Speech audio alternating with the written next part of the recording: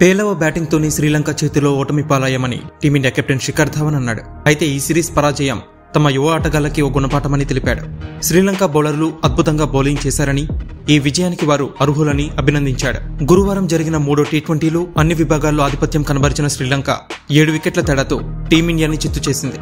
ఫలితంగా మూడు టీ ట్వంటీల సిరీస్ని రెండు ఒకటితో కైవసం చేసుకుని వన్డే సిరీస్ పరాజయానికి బదులు తీర్చుకుంది. ఈ మ్యాచ్ అనంతరం మాట్లాడిన శిఖర్ ధావన్ కెప్టెన్గా ఈ సిరీస్ని ఆస్వాదించినట్టు తెలిపాడు. కఠిన పరిస్థితుల్లో కూడా తమ జట్టు గొప్పగా పోరాడింది అన్నాడు. సిరీస్ మధ్య కరోనా కలకలం రేగడం ప్రధాన ఆటగాళ్ళంతా ఐసోలేషన్కి వెళ్ళడంతో కెప్టెన్గా నాకు ఇబ్బందులు ఎదురయ్యాయి. కానీ జట్టుగా మేము ఇక్కడే ఉంటూ సిరీస్ ఆడాలని నిర్ణయించుకున్నాం. కెప్టెన్గా ఎన్నో విషయాలు నేర్చుకున్నాను. రెండో టీ ట్వంటీలో ఆఖరి వరకు పోరాడాం. కానీ మూడో టీ ట్వంటీలో చెత్త బ్యాటింగ్తో మూల్యం చెల్లించుకున్నాం. అయితే మా కుర్రాలకి ఈ ఓటమి గుణపాఠమవుతుంది. ఈరోజు మేం వరుసగా వికెట్లు కోల్పోయాం. శ్రీలంక బౌలర్స్ అద్భుతంగా బౌలింగ్ చేశారు.